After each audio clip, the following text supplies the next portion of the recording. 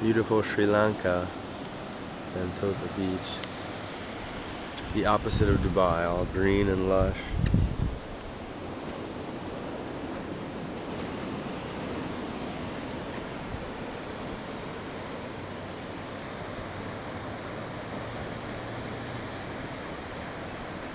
So gorgeous.